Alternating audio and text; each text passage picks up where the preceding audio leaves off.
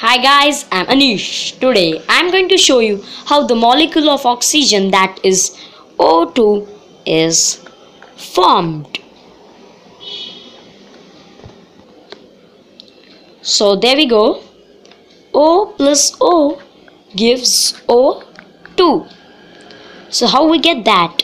O has 6 electrons in its outermost shell and here the O has 6 electrons in its outermost shell. So this and this electrons are been shared. So 1, 2, 3, 4, 5, 6, 7, 8. In total this oxygen has 8 electrons and even 1, 2, 3, 4, 5, 6, 7, 8. This oxygen has 8 electrons.